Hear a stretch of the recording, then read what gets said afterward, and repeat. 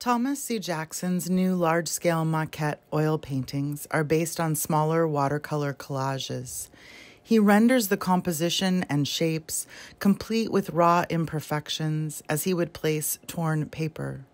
Stacked blocks with soft corners and edges are depicted perfectly.